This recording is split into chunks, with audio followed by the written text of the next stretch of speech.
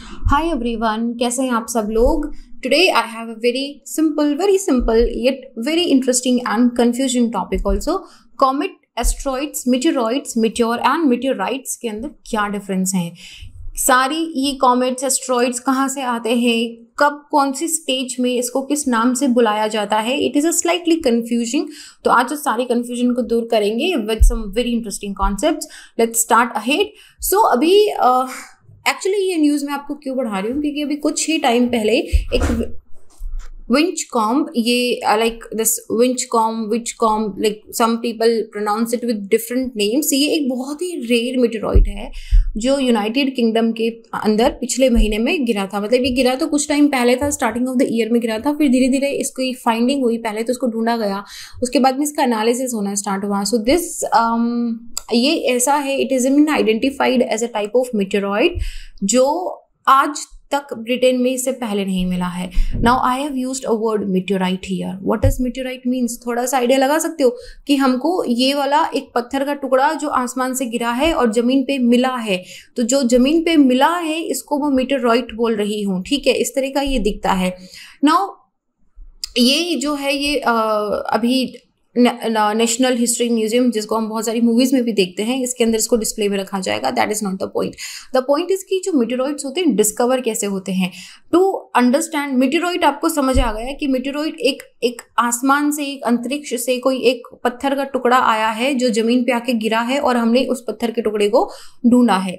ना ये जो मिटेरॉइड्स होते हैं, ये गिरते रहते हैं, ठीक है? आज से नहीं गिर रहे अभी तो कम हो गया है मीटेरॉइड्स का फॉल होना, अभी तो मीटेरॉइड्स बहुत कम है, पर ये जो मीटेओर्स या मीटेओर शावर या मीटेरॉइड होते हैं, ये इनिशियली जब सोलर सिस्टम बिल्ड हो रहा था, जब सोलर सिस्टम की फॉर्मेशन चल रही थी तो बहुत सारी मात्रा में गिरते थे, बहुत गहरे गहरे गिरते थे। ना मैं आपको एक बहुत ही इंटरेस्टिंग कॉन्सेप्ट देने वाली हूँ। एज यू नो स्पेस के अंदर I always give you some very interesting concept so listen to this so moon के अंदर क्या होता है कि मून में ना एटमॉस्फेयर नहीं है। Sorry for the noise moon में एटमॉस्फेयर नहीं है राइट और मार्स मार्स के अंदर भी ना बहुत ही थिन एटमॉस्फेयर है राइट लेकिन अर्थ और विनस दो ऐसी चीज़ें हैं। ये अर्थ है, हम लिख लेते हैं। विनस है, ये मार्स है और ये हमारा मून है। ना अभी स्केल पे बिल्कुल मत जाना। कॉन्सेप्ट पे ध्यान करो। मून पे ज़ीरो एटमॉस्फेयर इस पे मार्स पे थिन एटमॉस्फियर राइट और अर्थ uh, पे थोड़ा सा थिक एटमॉस्फियर है। और विनस पे अगर हम बात करें तो वो थिकेस्ट एटमॉस्फियर है। अभी कुछ टाइम पहले ही मैंने यूरोपियन स्पेस एजेंसी का एक एक मिशन है EnVision E N V I S I O N EnVision ये वाला मिशन विनस पे जाएगा इसके बारे में मैंने बात करी थी। अगर नहीं देखा है तो उसको देख लो। I have I have explain some very very amazing concept upon global warming also Venus का स्टडी क्यों ज़रूरी है? हाउ विनस इज़ डिफरेंट तो उसको एक बार देख लेना। Now coming back to this atmosphere क्या करता है? प्रोटेक्शन करता है। फ्रिक्शन समझते हो? घर्षण बल। जब कोई भी दो चीज़ें, कोई भी दो थिनेस्ट टू हार्डेस्ट कुछ भी हो सकती है। जब आपस में रगड़ खाती है, आपस में फ्रिक्शन होता है तो उससे एक फोर्स जनरेट होता है। मतलब उसमें यू नो लाइक एक एनर्जी निकलती है। तो वो जो एनर्जी निकलती है, वो क्या होती है कि कोई भी अगर अंतरिक्ष से कोई भी टुकड़ा, कोई भी टुकड़ा अगर मून पे गिरेगा तो क्योंकि इसमें कोई भी एटमॉस्फेयर तो है ही नहीं तो कोई घर्षण बल, कोई फ्रिक्शन ही नहीं होगा तो वो सीधा ही आके झट से गिर जाता है। तो हम जो बात करते हैं ना कि शूटिंग स्टार दिखा, टूटता तारा दिखा विश करो, शाहरुख खान को हम याद करते हैं तो वो आपको मून पे पॉसिबल नहीं है। मून पे तो सीधा धड़ाक से लगेगा कि कुछ आके गिरा है, पत्थर आके गिरेगा ठक करके। मार्स पे एटमॉस्फेयर थिन है तो दिखेगा लेकिन बहुत ही स्लाइट स्ट्रीक दिखाई देगी। क्यों? क्योंकि थिन एटमॉस्फेयर है तो घर्षण बल भी उतना ही कम होगा। नाउ अर्थ पे हमको एकदम ऐसे स्ट्रीक में दिखाई अभी दिखाऊँगी आपको, एक एकदम ऐसे शार्प स्ट्रीक दिखाई देती है, जब भी कोई अंतरिक्ष का एक रॉक ज़मीन का टुकड़ा बोल रही हूँ, अंतरिक्ष का कोई एक छोटा सा रॉक अगर अर्थ के एटमोसफियर में एंटर होता है तो बहुत तेज स्पीड से जब ग्रेविटेशनल फोर्स में, जब अर्थ के सरफेस पे पहुँचने की कोशिश में हमारे एटमॉस्फेयर वातावरण से गुजरता है तो घर्षण बल उत्पन्न करता है फ्रिक्शन उत्पन्न करता है। उसकी वजह से वो बर्न होने लग जाता है, क्योंकि एनर्जी प्रोड्यूस हो रही है ना इट इट बर्न्स तो वो अर्थ पे हो गया। अब विनस में क्या होगा? विनस में तो और भी ज़्यादा थिक एटमॉस्फेयर है विनस के अंदर तो बहुत ज़्यादा थिक एटमॉस्फेयर है, और इसके, और वो तो ऑलरेडी गर्म है तो उसकी वजह से अगर कोई मिटेरॉइड अगर कोई मिटेरॉइड बोलूँगी मैं, अगर कोई मिटेरॉइड विनस के एटमोसफियर में एंटर करता है तो अब आप मुझे बताओगे क्या होगा? Write in the comment section you know the concept you know the concept कि उसकी क्या सिचुएशन होगी, कितना बर्निंग होगा, नहीं होगा कितनी प्रोबेबिलिटी रह सकती है? आई नो एग्जैक्टली कोई प्रोबेबिलिटी नहीं रहती है, लेकिन फिर भी give me an estimated idea कि विनस के अंदर अगर कोई मिटेरॉइड फॉल होता है तो उसका क्या सिचुएशन रहेगा? नाउ ये मिलते कैसे हैं? अच्छा ये हर जगह कहीं पे भी फॉलो हो सकता है, ठीक है? लेकिन फिर भी कुछ लोग बोलते हैं अच्छा ये एक तो बहुत ही डिस्टिंक्टिव होता है। आपके घर के आसपास भी हो सकता है कि कोई बहुत साल पहले एक मेटेरॉइड गिरा हो, आप कोई ध्यान नहीं हो, लेकिन ये बहुत ही डिस्टिंक्टिव लुकिंग होती है, क्योंकि जब ये अंतरिक्ष में, जब अंतरिक्ष से गिर रहा है, हमारे एटमोसफियर में ये बर्न अप हो रहा है तो इस बर्न अप के अंदर ये जल जाता है नो मतलब इट बर्न्स इसकी शेप चेंज हो जाती है। जैसे आप किसी पत्थर को कंटिन्यूसली रगड़ते हो तो यू you नो know, उसकी शार्पनेस कम हो जाती है। तो ये जो मिटेरॉइड्स होते हैं ना आप देखो इनमें से like look at look at this कि आपको क्या लगता है कि क्या इसको किसी ने रगड़ के साफ़ करा होगा क्लीन करा होगा क्या इस तरह का शेप दिया होगा? नहीं। It is because of the friction force it is because of the burning it happen in the atmosphere तो ये बहुत ही डिस्टिंक्टिव लुकिंग होते हैं। ये ना पीसेज ऑफ़ स्पेस है। ये पीसेज ऑफ़ यूनिवर्स बोल लो आप इसको, कि जब यूनिवर्स की फॉर्मेशन हो रही थी, जब सोलर सिस्टम की फॉर्मेशन हो रही थी तो कुछ टुकड़े बच गए थे। जैसे आप घर बनाते हो तो घर बनाने में कुछ छोटे बड़े टुकड़े बच जाते हैं, जिसको हम बाद में भिजवा देते हैं, कहीं पे उसको रोड़ी बोलते हैं, इसको रोड़ी को कहीं डलवा देते हैं। तो दिस इज़ दैट ओनली ठीक है? तो ये बहुत ही एक तो डिस्टिंक्टिव लुकिंग होता है। दूसरा, इसके अंदर ये मतलब डिफरेंट टाइप का होता है कि इसमें जनरली आयरन हो सकता है स्टोन हो सकता है। तो ये जब पत्थर का टुकड़ा, या मैं इसको अभी बिटेरॉइट बोलूँगी क्योंकि वी हैव फाउंड इट जब ये ज़मीन पे गिरता है ना तो इसमें इरोजन होना स्टार्ट होता है डिपेंडिंग कि ये कहाँ गिरा है। अगर ये थिक फॉरेस्ट के अंदर गिरता है, मेरी बात ध्यान से सुनो, अगर ये थिक फॉरेस्ट में या किसी ह्यूमिड क्लाइमेट के अंदर गिरता है, जहाँ पे बढ़िया मॉइस्चर है थिक फॉरेस्ट है मतलब यू नो इरोजन की कोरोजन की सारी कंडीशन हैं कि वो कोरोड हो सकता है, या वो जैसे हमारे इरोजनल एजेंट्स होते हैं तो उनके द्वारा या तो ये ज़मीन में दब जाएगा या ये कहीं और चला जाएगा, सारी पॉसिबिलिटी होती है तो वहाँ पे मिटेरॉइड को फाइंड करना बहुत मुश्किल होता है। होता है आपको अमेजोन में भी मिलेगा, आपको ऑस्ट्रेलिया में भी मिलेगा, आपको सहारा में भी मिलेगा। लेकिन ऐसी जगह पे जहाँ पे थिक डेंस वेजिटेशन है या जहाँ पे बहुत तेज़ी से रिवर चल रही है इरोजनल एजेंट बहुत तेज़ी से वर्क कर रहे हैं, वहाँ पे इन या फिर जहाँ पे कोरोजन की कोरोजन बोल रही हूँ मैं इरोजन नहीं बोल रही हूँ कोरोजन की पॉसिबिलिटी बहुत ज़्यादा होती है, वहाँ पे इनके फाइंड होने की प्रोबेबिलिटी कम होती है, इसीलिए इनको ऑस्ट्रेलिया सहारा ऐसी जगह पे जो बिल्कुल अनडिस्टर्ब्ड है, वहाँ पे इनको ढूंढा जाता है।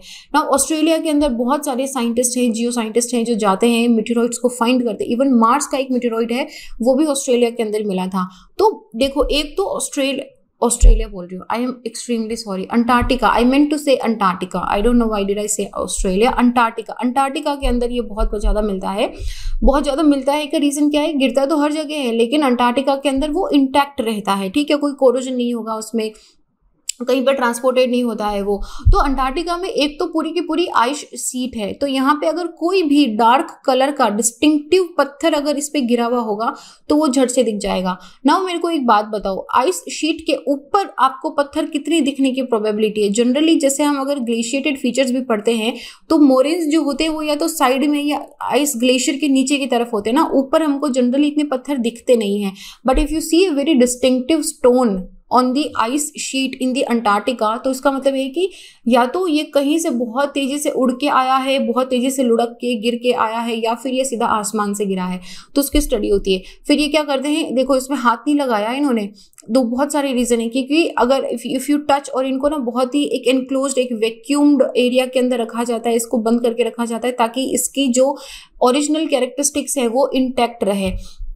नाउ ये जो मिटेरॉइड इनको मिला है, ये पहले तो देखो, जब ये मिटेरॉइड यहाँ आसमान से आके यहाँ पे गिरेगा तो क्या ये एक इम्पैक्ट नहीं बनाएगा? जैसे आप दूर से कहीं पत्थर फेंकते हो, पानी के अंदर भी या सरफेस के अंदर भी तो वो क्या करता है? एकदम ऐसे टक करके डिप करके निकलता है ना? तो डिप करके निकलता है तो मतलब आसपास यहाँ का जो मटीरियल था, इसको ये बाहर उछालता है। इसको बोलते हैं इम्पैक्ट क्रेटर क्रेटर का इम्पैक्ट होना मतलब अंदर जो मटीरियल था इस खड्डे में, उसको तो वो तेज़ी से जब पत्थर आके गिरा तो फोर्स लगी फोर्स ट्रांसफ़र हुई। वो एनर्जी जैसे ही ट्रांसफ़र हुई, वो जो मिट्टी के कण जहाँ पे वो पत्थर आके गिरा, वो झट से बाहर निकले इम्पैक्ट हुआ, ठीक है?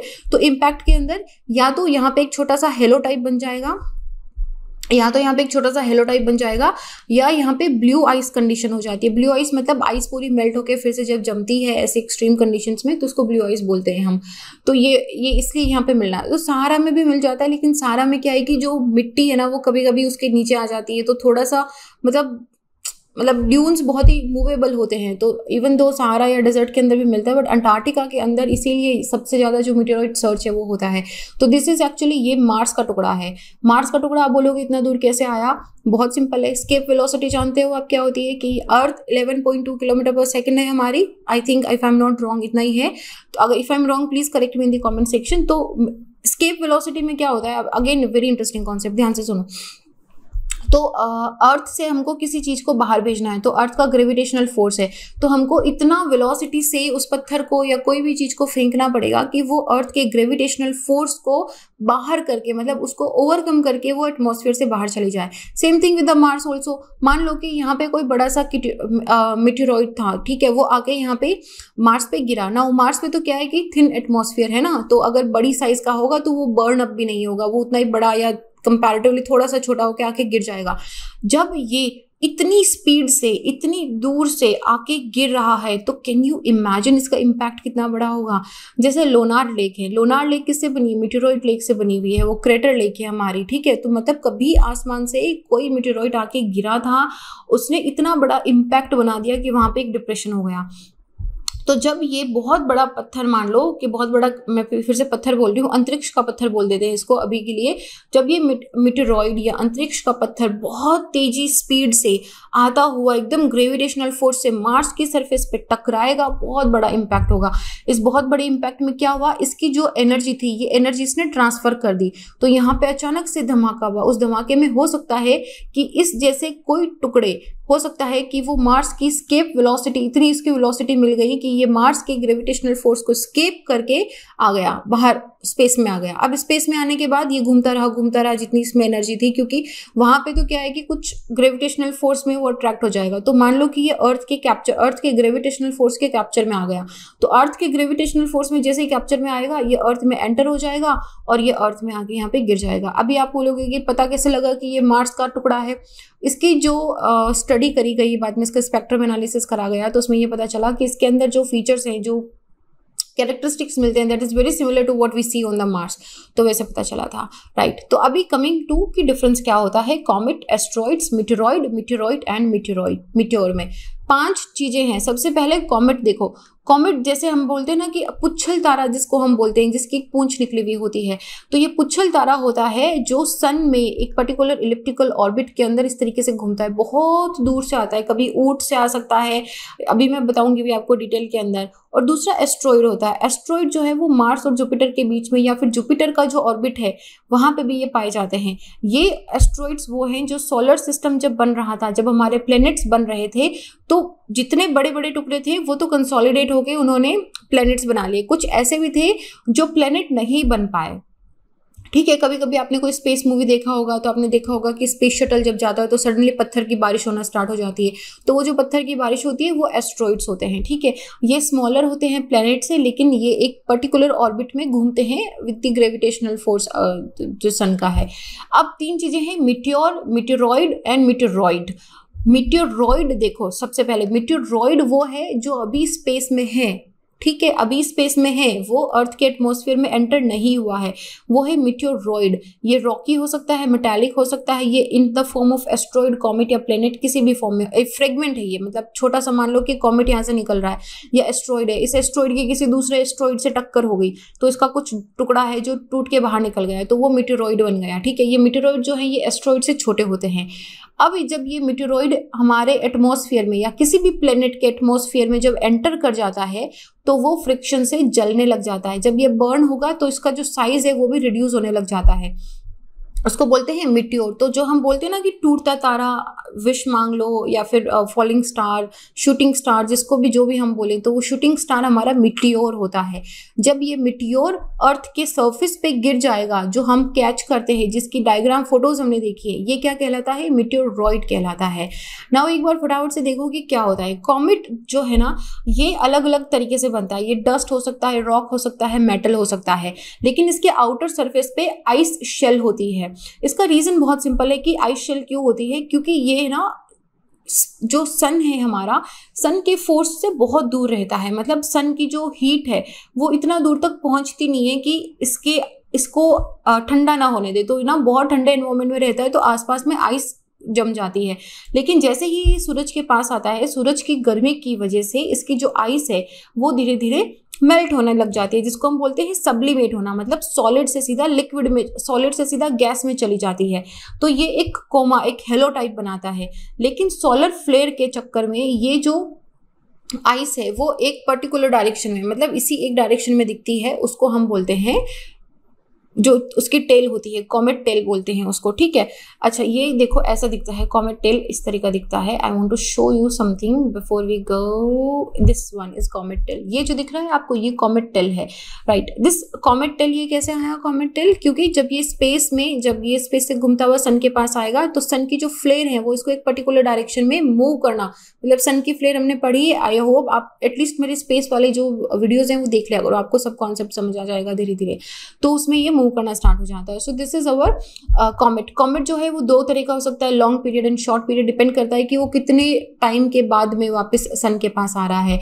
Then another one very important we have is the asteroid now uh, जो एस्ट्रॉइड्स हैं वो क्या होते हैं कि बड़े पत्थर के टुकड़े हैं जो इस तरीके से मार्स और जुपिटर के बीच में इस तरीके से रह गए जिनका कंसोलिडेशन नहीं हो पाया या फिर जो किसी प्लेनेट का पार्ट नहीं बन पाए। बस ऐसे ही मटेरियल है जो रह गया है बच गया जैसे घर बनाने में जो मटेरियल छूट जाता है उसको हम बैकयार्ड में पटक पटकवा देते हैं कि कभी कहीं काम आएगा। तो ये ऐसे समझ लो कि बैकयार्ड में पटकावा एक्स्ट्रा मटीरियल है जो प्लेनेट बन नहीं पाया। तो ये एस्ट्रॉइड बेल्ट इसको मतलब जनरली जो जुपिटर की ऑर्बिट में होती है, उसको हम ट्रोजन एस्ट्रॉइड्स बोलते हैं और जो मार्स और जुपिटर के बीच में होती है, उसको हम मेन एस्ट्रॉइड बेल्ट बोलते हैं, ठीक है? नाउ अभी coming back to our meteoroid and meteors and meteoroid तो ये इस तरीके से एक टूटता हुआ तारा हमको दिखाई देता है। अभी तो ये मतलब थोड़ी एडिटेड पिक्चर है, ये इसीलिए आपको इस तरीके से लग रहा है, बल्कि एकदम ऐसे एकदम विद इन सेकेंड दिखाई देता है शूट करके दिखाई देता है। नहीं, शाहरुख खान की मूवीज़ में जो दिखाते हैं, वो एडिटेड होता है तो उसको रियल मत मानना तो इसको हम जनरली शूटिंग स्टार बोलते हैं। तो अभी आपको डिफरेंस समझ आ गया मिटेरॉइड क्या हुआ? जो स्पेस रॉक होती है, जिसको मैं बोल रही थी कि अंतरिक्ष का टुकड़ा या अंतरिक्ष का चट्टान, आप ऐसे बोल लो, ठीक है? मिट्योर जब ये मिट्योरॉइड स्पेस में, यहाँ पे हमारे एटमोसफेयर में एंटर कर गया, इसको हमने क्या बोला? मिट्योर और जब ये अर्थ पे गिर गया तो हमने इसको क्या बोला? मिट्योराइट इसीलिए मैंने बोला था विंच कॉम मिट्योराइट मार्स का मिट्योराइट ओके सिग्निफिकेंस क्या है? देखो, ये जो है ना, ये तब बने थे, ये these are parts of solar system पिछले 4.5 बिलियन साल से ये सोलर में है। मतलब you know it it tells you about the origin of the solar system बहुत सारे साइंटिस्ट एंड रिसर्चर्स इनकी स्टडी करते हैं, देखते हैं कि ये किस तरह का मटेरियल है, क्या चेंजेस हुए हैं। जब ये बना था, तब किस तरह की कंडीशंस थी तो इनको स्टडी करा जाता है। जैसे कि नासा का जो ओरिसिस रेक्स मिशन है, ये 2018 में गया था एस्ट्रॉइड बेनू पे कि वहाँ से सैंपल लेके आएगा। हालाँकि जब ये बेनू से सैंपल लिया तो वहाँ पर डिस्ट्रक्शन मचा दिया। हायाबूसा का भी सेम चीज़ है but it's okay we make destruction तो ये स्पेस क्राफ्ट क्या कर रहा है, नासा का या फिर जो हयाबुसा का, जापान का है, ये एस्ट्रॉइड पे गए एस्ट्रॉइड से एक सैंपल पिक करा and then coming back to the earth तो इससे क्या होगा कि हमको पता चलेगा कि वो एस्ट्रॉइड जो 4.5 बिलियन साल पहले बना था, वो किस कंडीशन में बना था, उसकी स्ट्रक्चर क्या है, उसकी रॉक टाइप क्या है, बहुत सारी स्टडीज़ होती है, क्या उसमें वाटर के सिग्नेचर हैं, क्या उसमें लाइफ के सिग्नेचर हैं. तो विंच कॉम जो मिला है, वो भी इसी तरह का काफ़ी इंपॉर्टेंट है यूके में लगभग तीस साल के बाद में शायद ये डिस्कवर हुआ है. ये जो मिटेरॉइड है कार्बोनियस मिटेरॉइड बोलते हैं इनको and these are very very red meteoroids carbonaceous meteoroid उनको बोलते हैं जो एक सोलर सिस्टम में अर्ली अर्ली हिस्ट्री में प्रोवाइड करते हैं. ओनली तीन परसेंट जो जितने मिटेरॉइड्स गिरते हैं मतलब देखो अर्थ पे गिरते तो बहुत सारे हैं, ठीक है? जैसे कि जब पर्शियन कॉमेट भी जाता है तो बहुत सारे उसके छोटे छोटे टुकड़े गिरते हैं, लेकिन वो अर्थ तक पहुँच नहीं पाते, क्योंकि वो बर्न हो जाते हैं। अर्थ के एटमोसफियर में मोस्टली तो बर्न हो जाते हैं, और जो मिलते हैं, वो बहुत छोटे से गिरते हैं। तो ये इनमें कार्बोनिशियस ना थोड़ा मिसनॉर्मर है ये। इसमें लगभग दो परसेंट तक का कार्बन मिलता है which is weight by the organic content मतलब it it might be less than two percent also ये तीन वजह से इंपॉर्टेंट है। एक तो इनका नॉन वोलेटाइल एलिमेंट कॉम्पोजिशन होता है which is very similar to the sun दूसरा इनका जो रिफ्रैक्टरी इंक्लूजन uh, होता है जो ये oldest object formed in the solar system है सबसे पुराने सबसे सबसे बूढ़े ऑब्जेक्ट सोलर सिस्टम के अंदर हैं। एंड इनके अंदर जो मटीरियल पाया गया है that predates the solar system मतलब जो सोलर सिस्टम जब बनना स्टार्ट हुआ था तब का मटीरियल है। तो you know it tells a lot about the evolution of the solar system now asteroids and comets हमने पढ़ा but this is some I was reading some article और मुझे ये बहुत इंटरेस्टिंग लगा था। आई थॉट कि I tell you asteroid and comet के बीच में काफ़ी सारी सिमिलरिटीज़ एंड काफ़ी सारे डिफरेंसेस हैं। जैसे कि मैंने आपको अभी उसमें भी दिखाया कि जो एस्ट्रॉइड्स हैं ना ये क्या होता है कि um, ये डस्ट से बना हुआ है ये रॉक से बना हुआ है और इसी एस्ट्रॉइड के ऊपर अगर आइस जम जाए तो वो क्या हो जाएगा? कॉमेट हो जाएगा। देखो ये कॉमेट अगर अगर this this ice space rock बोल रहे हैं। अगर ये सिर्फ़ डस्ट रॉक एंड मेटल का बना हुआ है तो दिस इज़ एस्ट्रॉइड अगर ये सन से बहुत दूर चला गया है आउटर सोलर सिस्टम या ऊट क्लाउड के अंदर चला गया है तो वहाँ पे ये बहुत कोल्ड कंडीशन में जम जाता है। बट एस्ट्रॉइड जो है, ये जनरली मार्स एंड जुपिटर के बीच में मिलता है। एस्ट्रॉइड बेल्ट एक एक पर्टिकुलर ऑर्बिट में, जैसे हमारी अर्थ ऑर्बिट में घूमती है, वैसे ये घूमता रहता है। और ये एस्ट्रॉइड भी सिमिलरली अगर हमारे मतलब एस्ट्रॉइड्स आर एक तो वेरी वेरी डेंजरस ऑल्सो क्योंकि अगर हम बात करें कि डायनासोर्स uh, कैसे गए तो they also because they were hit by a asteroid तो अच्छा मैं ये आपको बता दूँ एस्ट्रॉइड से हिट करने की वजह से डायनासोर्स कैसे मर गए थे? हालाँकि बहुत सारी थ्योरीज हैं but one of the theory which I think की one of the most like acceptable theory is like जब ये बहुत बड़ा एस्ट्रॉइड था this was like like I think New York या लॉस एंजलिस टाइप की बड़ी बड़ा बहुत बड़ा एस्ट्रॉइड था। जब ये बहुत बड़ा एस्ट्रॉइड हिट करा ज़मीन पे तो बहुत सारी जो uh, आप ऐसे बोल लो कि ज़मीन का टुकड़ा है या ज़मीन का टुकड़ा या फिर ऐसा बोल लो कि रॉक या डेबरी या जो मटेरियल्स हैं, वो स्पेस में चला गया। मतलब इम्पैक्ट हुआ ना इम्पैक्ट हुआ स्पेस में चला गया। तो उसकी वजह से पूरा अर्थ पे एक क्लाउड बन गया। डस्ट क्लाउड बन गया। डस्ट क्लाउड की वजह से जो सोलर इंसोलेशन थी, वो अर्थ में एंटर नहीं कर पा रही थी, वो रिफ्लेक्ट हो जाती थी यहाँ से। तो इसकी वजह से अर्थ का टेम्परेचर बहुत कूल हो गया था एंड इसकी वजह से जो बहुत सारे प्लांट्स हैं they also died because of this and बहुत सारे एनिमल्स में अडप्शन चेंजेस आने गए इवोल्यूशन आ गया and then like with some impact जो डायनासोर्स हैं, क्योंकि उनका एक पर्टिकुलर नीच होता है तो वो नीच इनका जो था, वो ख़त्म हो गया था। And then also some tectonic activities also happened i think. And then because of that the dinosaurs died. All of the dinosaurs died. Yes. That's a good thing that we don't have dinosaurs right now and we are living in a very safe zone now okay? Uh, so um हाँ मैं आपको बता रही थी asteroid and comet के बारे में difference so asteroid भी मेटल एंड रॉकी मटेरियल का बनता है बट कॉमेट में वो है कि वो रॉकेट जो मेटल एंड रॉकी मटेरियल है, उसके बाहर आइस जम जाती है. कॉमेट जैसे ही सन के पास में जाता है मटेरियल लूज होने लग जाता है आइस मेल्ट होती है वेपराइज होती है, और वो सोलर फ्लेयर में एक पुच्छल तारे की तरह बन जाती है. नाउ मेजोरिटी ऑफ़ जो स्ट्रॉइड्स हैं, वो मार्स एंड जुपिटर से आते हैं, बहुत डिफरेंट साइज़ में आते हैं, लेकिन जो कॉमेट होता है, वो उसकी जनरली दो जगह से आता है. एक तो क्यूपियर क्यूपियर बेल्ट से आता है और दूसरा ऊट क्लाउड से आता है। अगर वो क्यूपियर बेल्ट क्या है कि प्लेनेट प्लूटो के बाद, जस्ट हमारे आउटर जस्ट हमारे सोलर सिस्टम के बाहर में एक बेल्ट बना हुआ है, जहाँ पे भी एस्ट्रॉइड्स हैं, जहाँ पे छोटे छोटे पत्थर स्पेस रॉक्स हैं तो वो वहाँ से, क्योंकि this is very far very away from the solar light ठीक है तो वहाँ तक सन की गर्मी इतनी पहुँचती नहीं है तो वो वहाँ पे आईसी डॉफ जैसे प्लूटो एंड एरिस ये सब भी मिलता है हमको। दूसरा ऊट क्लाउड है, जहाँ पे ट्रिलियंस ऑफ़ कॉमेट्स हैं, जो सन को सर्कल करते हैं, आएँगे एक ऑर्बिट के अंदर सन का चक्कर लगाएँगे हलो बोलेंगे, फिर चले जाएँगे। फिर वापस दो सौ साल बाद आएँगे सन को हलो बोलेंगे, फिर चले जाएँगे। तो हमारे लाइफ टाइम में 200 300 400 साल हमको लगता है कि हम, हमारी तो मतलब चार, पाँच जनरेशन निकल जाएँगी। चार, पाँच तो ज़्यादा बोल दिया मैंने बट हमारी दो, तीन जनरेशन निकल जाएँगी। बट पूरे, अगर आप देखोगे ना इवन सोलर सिस्टम के टाइम फ्रेम में या यूनिवर्स के टाइम फ्रेम में तो उनके लिए तो इट्स लाइक कि अभी कल परसों तो हाई बोल के गए थे। तो सम साइंटिस्ट ऑल्सो थिंक कि जो एस्ट्रॉइड्स हैं they are formed much closer to this sun क्योंकि मतलब you know like where it is too warm for any ice to remain solid जबकि कॉमेट्स बहुत दूर से आते हैं तो उनके अंदर आइस होती है। Well this is the major difference between the comet and the asteroids and the meteoroid meteor and the meteoroid I hope now you are clear अभी आप कंफ्यूज नहीं करोगे कि मिटेरॉइड किसको बोलते हैं और मिटेरॉइड किसको बोलते हैं। D and T should be differentiated uh, okay the this was it this was it. I think this was the main content which i wanted you to know कि difference क्या होता है and some basic concept also मैं अपने बारे में बता दूँ मेरा नाम संतोष है। अगर आप मुझसे जुड़ना चाहते हैं तो little underscore simple underscore Buddha पर सर्च करके जुड़ सकते हैं। एंड इस वीडियो का पीडीएफ भी मैं आपको टेलीग्राम पर डाल दूँगी। आप यहाँ से इसे देख सकते हैं। सो दिस इज़ इट अपना ध्यान रखिए। Take care of your health and be happy stay happy make other people happy I see you guys in the next जय हिंद